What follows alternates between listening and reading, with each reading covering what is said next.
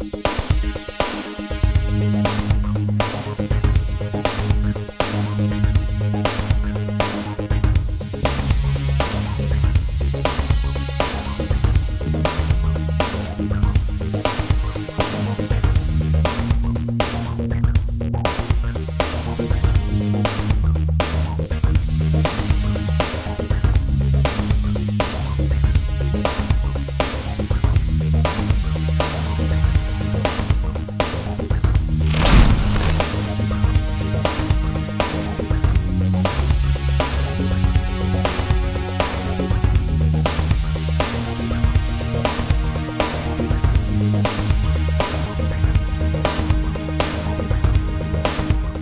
সুপ্রিয় দর্শক, বাংলাদেশ টেলিভিশনের নিয়মিত আয়োজন ফ্যাসিবাদের দিনলিপি অনুষ্ঠানে আপনাদেরকে স্বাগত জানাচ্ছি। আপনাদের সাথে আছি আমি সাইদ খান। আলোচনার জন্য আমার সঙ্গে আছেন দুজন অতিথি। আমার ডান দিকে রয়েছেন সিনিয়র সাংবাদিক, অর্থনৈতিক বিশ্লেষক সুলতান মাহমুদ। আমার বাম দিকে রয়েছেন ব্যারিস্টার আক্তার হোসেন, বাংলাদেশ সুপ্রিম কোর্টের আইনজীবী। আপনাদের দুজনকেই স্বাগত জানাচ্ছি আজকের আলোচনায়। এক যুগের বেশি সময় ধরে বিশ্বের কাছে বাংলাদেশ নামটির প্রতিশব্দ ছিল স্বৈরাচার, অত্যাচার এবং অবিচার। স্বেচ্ছাচার, অনাচার এবং মিথ্যাচার ছিল প্রতি মুহূর্তের চিত্র। দল এবং ব্যক্তির স্বার্থে ব্যবহৃত হয়েছে প্রশাসন, বিচার বিভাগ। ভয় আর বিচারহীনতার সংস্কৃতি খামচে ধরেছিল বাংলাদেশের পতাকা। আজ নয় অক্টোবর দু হাজার চব্বিশ। গত ষোলো বছরে শুধুমাত্র এই দিনটিতে কি কি ঘটেছিল অতিথিদের সঙ্গে আলোচনার আগে আমরা কিছুক্ষণের জন্য একটু অতীত থেকে ঘুরে আসি। দুহাজার নয়। সিটি কর্পোরেশন ও শ ওজের জায়গা দখলের অভিযোগ আওয়ামী লীগের বিরুদ্ধে। সাংসদ পুত্রে জাহাজ ভাঙা ইয়ার দখল মামলা না নেওয়ার অভিযোগ। ময়মনসিংহের তিন কৃষক হত্যা মামলায় বিচারক বিব্রত, মামলা ফেরত পাঠানোর আবেদন। দু হাজার দশ। উপজেলা চেয়ারম্যান বিএনপি নেতা সানাউল্লাহকে কুপিয়ে হত্যা। পঞ্চম সংশোধনী বাতিলের রায় বাস্তবায়নে সরকার গড়িমসি করছে ঘাতক দালাল নির্মূল কমিটি। দু হাজার এগারো। দেশে কালো টাকা জিডিপির একাশি শতাংশ। শহীদ পরিবারের জমি দখলের অভিযোগ আওয়ামী লীগের আখন্দের বিরুদ্ধে। দু হাজার বারো। উপজেলা চেয়ারম্যান বিএনপি নেতা সানাউল্লাহ হত্যার অভিযোগপত্র দুই বছরেও আদালতে দেয়নি পুলিশ। রেলে অর্থ কেলেঙ্কারি, দুদকের বক্তব্য, অগ্রহণযোগ্য ও অপরিণামদর্শী টিআইবি। দরপত্রের বিজ্ঞপ্তি প্রকাশে কারসাজি করে কাজ বন্টন। নোয়াখালীর চরে পুলিশ ক্যাম্পে হামলা, পুলিশ জনতা সংঘর্ষ। দু হাজার তেরো, ভোট নির্বিঘ্ন করতে কেন্দ্রভিত্তিক কমিটি করবে আওয়ামী লীগ। মন্ত্রী সাংসদের জাহাজ বাণিজ্য। জাবিতে শিক্ষকদের হাতাহাতি অ্যাকশনে ছাত্রলীগ দু হাজার চোদ্দ। ছাত্রলীগের হামলায় ব্যবসায়ী সহ আহত তিন। জনপ্রতিনিধির গুলিতে ব্যবসায়ী গুরুতর আহত। বিএনপি নেত্রীকে ভুলের খেসারত দিতে হবে প্রধানমন্ত্রী। দু হাজার পনেরো। ইতালির নাগরিক হত্যা মামলার তদন্তে দৃশ্যত অগ্রগতি নেই। জঙ্গিবাদ নিয়ে অপরাজনীতি হচ্ছে ফখরুল। ছাত্রদল নেতাকে গুলির অভিযোগ পুলিশের বিরুদ্ধে। দু হাজার ষোলো। জঙ্গি বিরোধী অভিযানে নিহত বারো। রামপাল বিদ্যুৎ কেন্দ্রের বিরোধিতাকারীরা জামায়াত সংশ্লিষ্ট বিদ্যুৎ প্রতিমন্ত্রী। দু হাজার সতেরো। জাতীয় নির্বাচন এলেই নিবন্ধিত ছোট দলগুলোর কদর বাড়ে। ফল প্রকাশের দাবিতে ঢাকার সাত কলেজের শিক্ষার্থীদের বিক্ষোভ। দু হাজার আঠেরো। আপত্তি অগ্রাহ্য ডিজিটাল নিরাপত্তা বিলে সই করলেন প্রেসিডেন্ট। সড়ক আন্দোলনের আড়ালে সরকার পতনের চেষ্টার অভিযোগ। দু হাজার উনিশ। ডক্টর ইউনুসের বিরুদ্ধে গ্রেফতারি পরোয়ানা। আবরার হত্যার প্রতিবাদে বিক্ষোভ, উত্তাল বুয়েট, তোপের মুখে উপাচার্য। বিশ্ববিদ্যালয়ে খুন হয়, বিচার হয় না। দু হাজার বিশ, সরকার টিকে আছে জনগণের ইচ্ছায়, কারও দয়ায় নয়, কাদের। গণমাধ্যম ও সংবাদকর্মীদের উপর হামলা থামান অ্যামিনেস্টি। কলেজ শিক্ষক, ছাত্ররা সরকার বা রাষ্ট্রের ভাবমূর্তি ক্ষুণ্ণের পোস্ট দিতে পারবেন না। তকি হত্যার একানব্বই মাস, বিচারের দাবিতে সমাবেশ ও আলোক প্রজ্বালন? ইলিশ ধরা থেকে বিক্রি সিন্ডিকেটের হাতে। দু হাজার একুশ, ব্যবসার পরিবেশ দশ সূচকের ছয়টি খারাপ। ই কমার্সে ক্ষতিগ্রস্ত গ্রাহকদের দায় নেবে না সরকার বাণিজ্যমন্ত্রী দু হাজার বাইশ, নির্বাচনী ব্যবস্থা পরিবর্তন সম্ভব নয় ওবায়দুল কাদের। অর্থের অভাবে বন্ধের পথে বেসরকারি বিদ্যুৎ কেন্দ্র। গুমের ঘটনা নিয়ে অপপ্রচার চালানো হচ্ছে পররাষ্ট্রমন্ত্রী। দু হাজার তেইশ, রিজার্ভ নিয়ে অত চিন্তার কিছু নেই প্রধানমন্ত্রী। সংকটে অর্থনীতির সামনে অনিশ্চয়তা। অর্থনৈতিক মন্দায় বেপরোয়া ছিনতাইকারীরা। এই সরকারের কাছে তকি হত্যার বিচার চাই না, তকির বাবা। শুরুতেই সুলতান মাহমুদ, আপনার কাছে জানতে চাই, আমরা খবরে দেখলাম দুই হাজার এগারো সালে একটি খবর, দৈনিক প্রথম আলোর, দেশে কালো টাকা, জিডিপির একাশি শতাংশ। এই বিষয়টি আসলে একজন সিনিয়র সাংবাদিক হিসেবে একজন অর্থনৈতিক বিশ্লেষক হিসেবে কীভাবে মূল্যায়ন করবেন? অর্থনীতির ভাষায় কালো টাকা বলে কোনো শব্দ নেই। কালো টাকা সব টাকাই টাকা এখানে কালো টাকা আর সাদা টাকা বলে কিছু নাই। এটি হলো আনট্যাক্সড মানি কর বহির্ভূত যে অর্থ সেই কর বহির্ভূত অর্থটাকেই আমরা কালো টাকা বলে থাকি প্রচলিতভাবে আর কি। তথ্য উপাত্তের ভিত্তিতে এটি করা হয়েছে। একটি দেশে কালো টাকা কখন তৈরি হয়? যখন সরকার ব্যবস্থা থেকে এই আনট্যাক্সড মানিকে নানানভাবে উৎসাহ উদ্দীপনা দেয়া হয় বা সুযোগ করে দেয়া হয়। কালো টাকা বা আনট্যাক্সড মানি তৈরি হওয়ার কতগুলো কারণ আছে? তার একটি কারণ হলো যে দুর্নীতি। গত পনেরো বছরে বাংলাদেশের অর্থনীতির সবগুলো কাঠামোকে ভেঙে ফেলা হয়েছে। ভেঙে ফেলা হয়েছে যে কারণে এই কালো টাকা আপনারা যেটিকে বলছেন এই কালো টাকা আহ, একদিনে তৈরি হয়নি। দিনে দিনে তৈরি হয়েছে এবং এই কালো টাকার যতগুলো উৎস একটি হলো দুর্নীতি আরেকটি হলো দুর্নীতির মধ্যে এর মধ্যে ঘুষ বাণিজ্য বলেন বা চাঁদাবাজি বলেন বা টাকা পাচারের যে জায়গাটা বা ব্যবসার আড়ালের যে টাকাটা তৈরি হয়েছে অবৈধ টাকা যেটা আমরা যেটিকে বলে থাকি যে ওভার ইনভয়েসিং বা আন্ডার ইনভয়েসিং এই সব ইস্যুর মধ্য দিয়ে এবং তার সাথে আরেকটি জায়গা হলো সম্পদ বিকিকিনির মধ্য দিয়ে একটি কালো টাকার জায়গা তৈরি হয়। কালো টাকা বা এই আনট্যাক্স মানি যখন বেড়ে যায় জিডিপিতে একাশি শতাংশ দেখছি এর প্রভাব জনগণের উপরে এর বৈরী প্রভাব বা বিরূপ প্রভাব কেমন পড়ে? বাংলাদেশের গত পনেরো বছরে সবচেয়ে দুঃসহ অবস্থায় কেটেছে মধ্যবিত্তের। তারা কাউকে না বলতে পেরেছে না নিজেরা সইতে পেরেছে। অর্থবিত্তের একটি পাহাড় তৈরি হয়েছিল যারা ক্ষমতার বলয়ের মধ্যে ছিল বা আওয়ামী লীগ বা তৎকালীন সরকারের যারা সঙ্গে ছিল। আমরা যেটিকে বলে থাকি চোদ্দ দলীয় সরকার বা মহাজোট। সরকার। মহাজোট সরকারের সঙ্গে যারা ছিল যে রাজনৈতিক দলগুলো বা আওয়ামী লীগের অঙ্গ সংগঠনে যারা ছিল আষ্টে পৃষ্ঠে কোনো না কোনোভাবে এবং ওই সময়টা বিরোধী দলও কিন্তু সরকারের এক প্রকার সহযোগী ছিল। আপনি যদি বলেন ব্যাংক ব্যবস্থা আপনি যদি বলেন কুইক রেন্টাল বিদ্যুতের ব্যবস্থা আপনি গ্যাস বিদ্যুৎ আপনি যতগুলো উন্নয়ন প্রজেক্ট হয়েছে সব কিছুর এই যে অপ্রদর্শিত অর্থ বা চাঁদাবাজির অর্থ বা ব্ল্যাক মানি এবং এই যে অবৈধ লেনদেন বা ঘুষ বাণিজ্য আপনি যেটাই বলেন না কেন সবগুলো কিন্তু এইভাবে একটি শ্রেণির হাতে গিয়ে পড়েছে এবং সেটিকে তারা ট্যাক্সে শো করে নাই এবং এরই একটি বড় অংশ কিন্তু পাচার হয়েছে।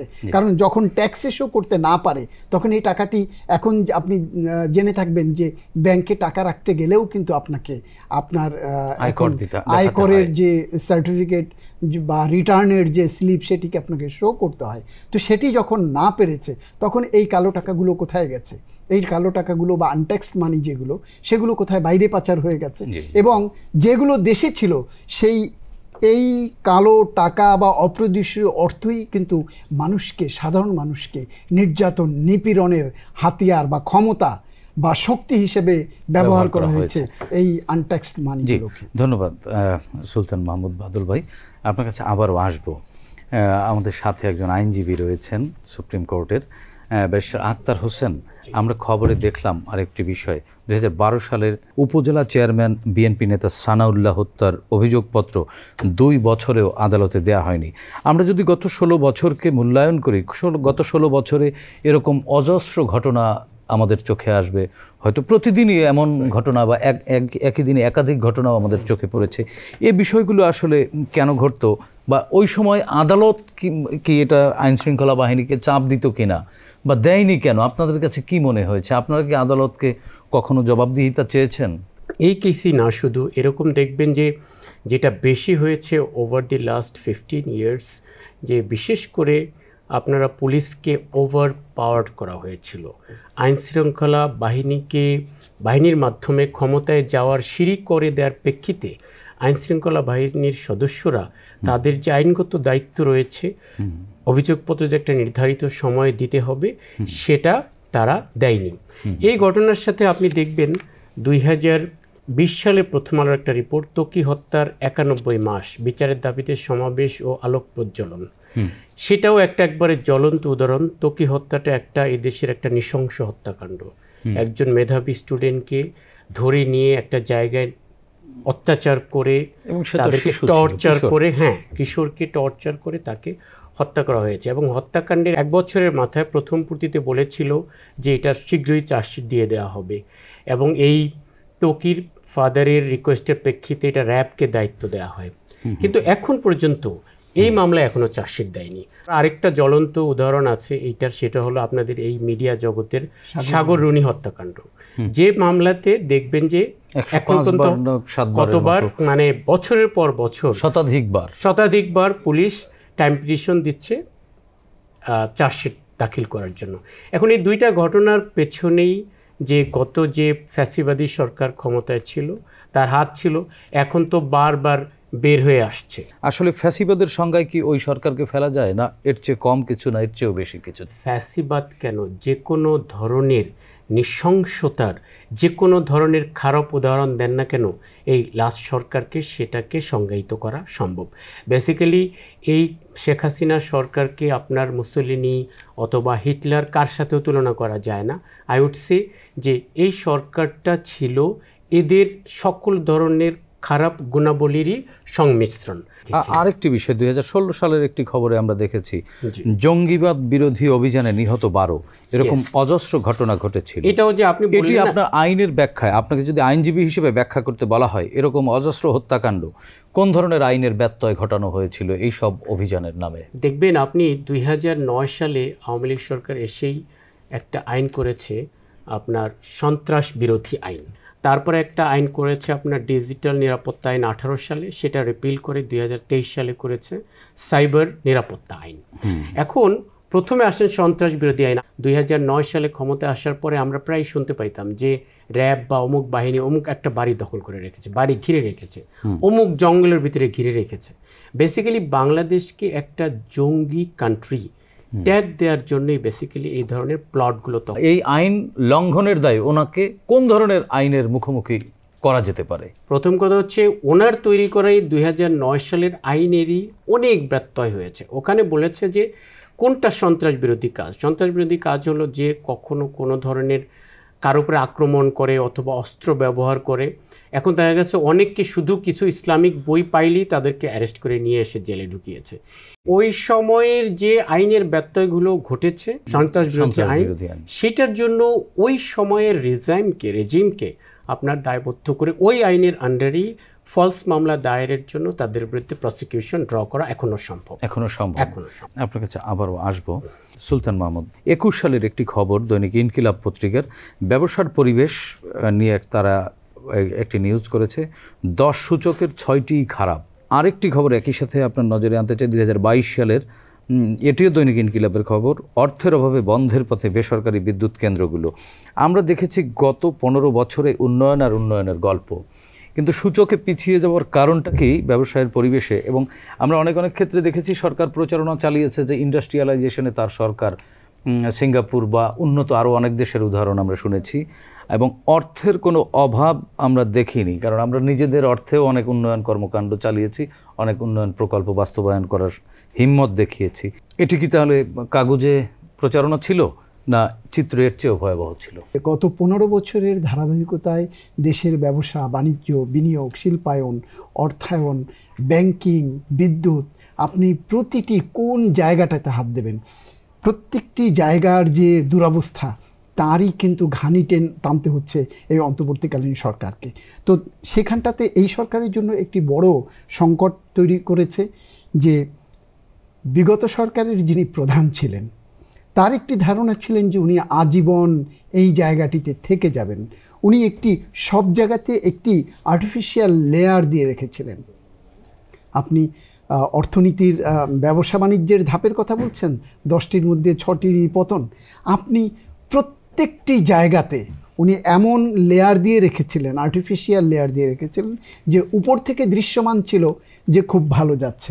কিন্তু ভেতরটা আমরা ওই যে বলি উপরে ফিটপাট ভেতরে সদরঘাট একটা কথা বলি না? তো আমাদের অর্থনীতি ব্যবসা বাণিজ্যের দেশের প্রত্যেকটি জায়গায় এরকম একটি করুণ জায়গা ছিল। স্বাধীনতার তেপ্পান্ন বছরের ফলশ্রুতিতে এখন যেটা তৈরি হয়েছে গত পনেরো বছরে। আসলে একটি লুটেরা অর্থনীতি তৈরি হয়েছিল বাংলাদেশে।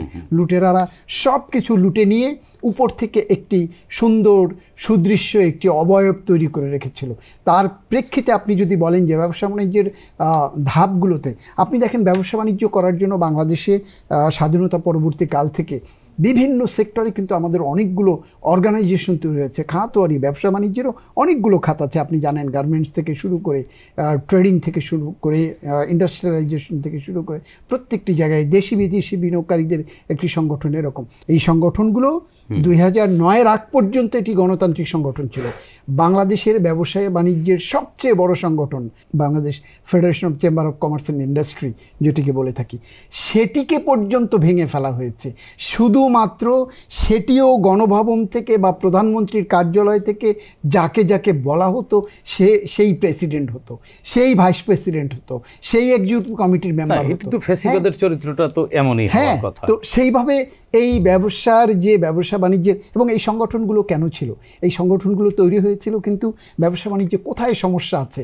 কোথায় সংকট আছে? সেটিকে মানে সংকট দূর করবার সংকট দূর করা। কিন্তু এই সংগঠনগুলো শুধুমাত্র সরকারকে তোয়াজ করা এবং এই তোয়াজ করে এবং সরকারকে টিকিয়ে রেখে এই ব্যবসায়ীদের শীর্ষ পর্যায়ে যারা আপনারা দরবেশের নাম শুনে থাকবেন নজরুল ইসলাম মজুমদারের নাম শুনে থাকবেন সামিট গ্রুপের নাম শুনে থাকবেন। তো এরা কি করেছে? সরকারের পদলেহন করে ব্যবসা বাণিজ্যের আড়ালে ব্যবসায়ীরা যে আগে শক্ত ভিত্তির উপরে তারা কথা বলতো। আপনি দেখে থাকবেন যে প্রতিটি বাজেটে ব্যবসায়ীদের আগে ব্যবসায়ীদের কাছ থেকে মতামত নেওয়া হয় যে আমাদের ব্যবসা বাণিজ্যের জন্য কি কি দরকার? কোন কোন জায়গায় ছাড় দেওয়ার দরকার কোন কোন জায়গায় টাইটেন করার দরকার? এই যে ব্ল্যাক মানির কথা একটু আগে বলছিলেন সমাজ থেকে অর্থনীতি থেকে কালো টাকা তুলে আনবার বা স্বাভাবিক অর্থপ্রবাহ বা ব্যাংকিং চ্যানেলে বা ট্যাক্সের ভিতরে আনবার জন্য কি করতে হবে সে পরামর্শটা কিন্তু ব্যবসায়ী সমাজ দিত। সেই জায়গাগুলোকে ভেঙে চুরো চুরমার করা হয়েছে এবং দেখুন বাজেটের আগে ব্যবসায়ীরা কি বলবে সেটিও এই সালমান এফ রহমানদের জায়গা থেকে বলে দেওয়া হতো যে তোমরা এটা এর ব্যত্যয় ঘটলেই তারা কিন্তু ফায়ার হয়ে যেত। এগুলোই হলো বাংলাদেশের অর্থনীতি ধ্বংস হওয়া ব্যবসা বাণিজ্যের মানে গত যে 15 পরিবেশ, বছরের চিত্রটা এমনই একেবারে পনেরো বছরের চিত্রটা দিনে দিনে না একদিনে হয়নি দিনে দিনে এটি কিন্তু হয়েছে। চূড়ান্ত পর্যায়ে। আখতার হোসেন আপনার কাছ থেকে আরেকটি বিষয় জানতে চাচ্ছি আপনার নজরে আনতে চাচ্ছি। আপনি দেখেছেন দুই হাজার আঠারো সালের দৈনিক মানব জমিন পত্রিকার একটি খবর ছিল যে ডিজিটাল নিরাপত্তা বিলে আপত্তি অগ্রাহ্য করে রাষ্ট্রপতি সই করেছিলেন। আইন কি আসলে জনগণের স্বার্থেই তো করা হয়? সেক্ষেত্রে জনগণের চাহিদাকে উপেক্ষা করা হয়েছিল কিসের স্বার্থে? দুই সালের ডিজিটাল নিরাপত্তা আইন করেছিল এটাতে বিশেষ করে এইটার আন্ডারে আমাদের মাহমুদুর রহমান থেকে শুরু করে অনেক ব্যক্তিকে এটা এই মামলাতে কিছু মামলায় সাজাও দেওয়া হয়েছে কিছু কিছু মামলায় তাদেরকে মারাত্মকভাবে হয়রানি করা হয়েছিল। তো এটার বিশেষ করে আপনার এদের ধারা সাতান্ন নিয়ে সবার আপত্তি ছিল। তারপরে অনেক আপত্তির প্রেক্ষিতে দুই হাজার তেইশ সালে এসে আইনটাকে এক শুধু নাম চেঞ্জ করে ডিজিটাল সিকিউরিটি অ্যাক্টকে সাইবার সিকিউরিটি অ্যাক্ট হিসাবে করেছে। ওই ডিকে বাদ দিয়ে শুধু সি বসিয়ে দিয়েছে। বলতে গেলে এখানে যে টোটাল আটান্নটা সেকশন ছিল, সবই রয়েছে। শুধু একটা সেকশন পরে অ্যাড করেছে, সেটা হলো যদি কোনো মিথ্যা মামলা হয় সেটার এগেনস্টে কী ব্যবস্থা নেওয়া যাবে সেটা করে। জনগণের স্বার্থ কেন উপেক্ষা করা হতো? এই যে আইনটা হলো দুই হাজার আঠারো সালে। দুই সালের যে লাস্ট রেজিম এই দেশে ক্ষমতায় ছিল শেখ হাসিনার নেতৃত্বে যে দল আওয়ামী লীগ ক্ষমতায় ছিল তখন তাদের টার্গেট ছিল এটার ক্রিটিক স্টপ করা সমালোচনা যেতে না হয়। আর আপনি একটা মানে জিনিস দমন করবার জন্যই এই- বিষয়টি। রাইট আরেকটা জিনিস হলো দেখবেন রূপান্তর এখন ডিজিটাল মাধ্যমে বা আপনার আপনার আমরা যে বিভিন্ন মাধ্যমে ইউজ করি ফেসবুক বা টুইটার বিভিন্ন জায়গায় ইউজ করি এটা কিন্তু খুব প্রভাব ফেলে। ওই জায়গায় যাতে কেউ ইউজ না করতে পারে কত মামলা হয়েছে যে শেখ হাসিনার বিরুদ্ধে ওই কথা বলেছে বা অমুকের বিরুদ্ধে কিছু বলা যাবে না। আপনার এই বাংলাদেশের পত্রিকা থেকে আপনি ওই যে বিভিন্ন ধরনের ব্যঙ্গাত্মক চিত্র দিত আগে। কার্টুন হ্যাঁ কার্টুন দেওয়া হতো সেটাকেও বন্ধ করে দিয়েছে। সোজা কথা হলো দমন করার জন্য এই কাজটা তারা এটা করেছে। করেছে। আরেকটা জিনিস আমি বলব পরে যে সাইবার সিকিউরিটি যে আইনটা হয়েছে সেটা বেসিক্যালি ওই পুরনো আইনটাকেই আবার জাস্ট দেখানোর জন্য লোক দেখানোর জন্য চেঞ্জ করে ধন্যবাদ সুলতান মাহমুদ আপনার কাছে আরেকটি বিষয় একটু নজর আনতে চাই। আমরা দু হাজার তেইশ সালের একটি খবরেও দেখেছি, যখন রিজার্ভ নিয়ে সারা দেশে সকল শ্রেণি পেশার মানুষের মাথা নষ্ট অবস্থা, ত্রাহি ত্রাহি দশা, ঠিক তখন প্রধানমন্ত্রী দু হাজার তেইশ সালের আজকের এই তারিখেই বলেছিলেন, রিজার্ভ নিয়ে অত চিন্তা করার কিছু নেই, রিজার্ভ নিয়ে সংকট নেই। হ্যাঁ অর্থনৈতিক মানে ফুলে ফেপে উঠেছে, আছে আরও বড় হয়েছে, বৃহৎ অর্থনীতির দেশ হয়েছে। এই বিষয়টি আসলে উনি এই ধরনের রেটরিকমূলক কথাবার্তা দায়িত্বশীল চেয়ারে থেকে কেন বলতেন? আসলে ওনার উদ্দেশ্যটা কী ছিল? আমরা এই এই বিষয়টি যদি একটু প্রধানমন্ত্রীর কিন্তু এই কথাটা বলবার কথা নয় যে রিজার্ভ কোনো বিষয় না। অবশ্যই রিজার্ভ বিষয়। এই জায়গাটি বলবার জন্য দেশের অর্থনীতির সার্বিক পরিস্থিতি প্রথমত এই কাজটি বলবার জায়গা হলো কেন্দ্রীয় bank Bangladesh bank. Bangladesh bank যদি আপনি ছেড়ে আসেন বাংলাদেশ ব্যাংক বলতে পারছে না তাহলে আপনাকে আসতে হবে অর্থ মন্ত্রণালয়। অর্থ মন্ত্রণালয় যদি বলতে না পারে তাহলে প্রধানমন্ত্রীর অর্থনৈতিক বিষয়ে একজন উপদেষ্টা ছিলেন দীর্ঘদিন ওনার সাথে ছিলেন। তিনি বলবেন প্রধানমন্ত্রী পর্যন্ত কিন্তু এটি কথা বলবার কথা নয়। রিজার্ভের অবস্থা কী হ্যাঁ ছিল তো রিজার্ভটা যেটা ছিল আপনি দেখবেন যে রিজার্ভকে আমরা ফুলিয়ে ফাঁপিয়ে শো করেছি। আমাদের দেশের অর্থনীতি গত পনেরো বছরে একটি ফাঁপা বেলুনে পরিণত হয়েছিল। যেটি আপনারা এখন দেখতে পাচ্ছেন এটিকে যেহেতু পাঁচ তারিখে সরকার পরিবর্তন হলো যখন ক্ষমতা এই তৎকালীন প্রধান প্রধানমন্ত্রী বা সরকার যখন সরকার প্রধান পালিয়ে গেল এরপরের বাস্তবতা আমরা দেখলাম একটি বাতাসবিহীন বেলুন। জি ব্যারিস্টার আক্তার এই পরিবর্তিত পরিস্থিতিতে নতুন বাংলাদেশের আজকের এই অনুষ্ঠান থেকে কি পরামর্শ আছে বা কি প্রত্যাশা আছে? সাইবার সিকিউরিটি আইন থেকে শুরু করে এরকম অজস্র আইন রয়েছে সন্ত্রাস বিরোধী আইন থেকে শুরু করে বিদ্যমান আইনগুলোতে একটা সুন্দর সমাজ গঠন, একটা ওয়েলফেয়ার রাষ্ট্র গঠন করার জন্য অনেক আইনি বাধা রয়েছে, যেটা গত পনেরো বছরে এই দেশে হয়েছে। সুতরাং ওই আইনগুলোকে লিগ্যাল এক্সপার্ট থেকে শুরু করে সব স্টেক হোল্ডারদের সাথে আলোচনা করে সাংবাদিকদের সহ সবার সাথে আলোচনা করে আইনগুলোকে প্রপার ওয়েতে সংশোধন করে একটা ওয়েলফেয়ার স্টেট গঠন করার জন্য বর্তমান ইন্টারিম গভর্নমেন্ট কাজ করবেন। আমরা এই আশা করব। ধন্যবাদ ব্যারিস্টার আক্তার হোসেন ধন্যবাদ সুলতান মাহমুদ বাদল আপনাদের দুজনকেই। প্রিয় দর্শক আগামীর বাংলাদেশে আমরা আর কোনো অনাচার অত্যাচার অবিচার মিথ্যাচার স্বেচ্ছাচার দেখতে চাই না। সংগ্রামের এই পথ চলায় আমাদের ঐক্যই হবে বিজয়ের চাবিকাঠি। ইনক্লুসিভ রাজনীতি, গণতন্ত্রের দীপ্তি, মানবতার জয়ের মাধ্যমে এ স্বপ্নের পূর্ণতা আসবে।